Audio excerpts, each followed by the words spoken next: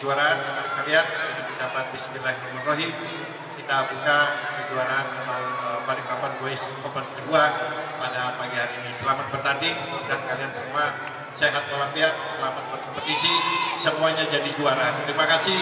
Wassalamualaikum warahmatullahi wabarakatuh.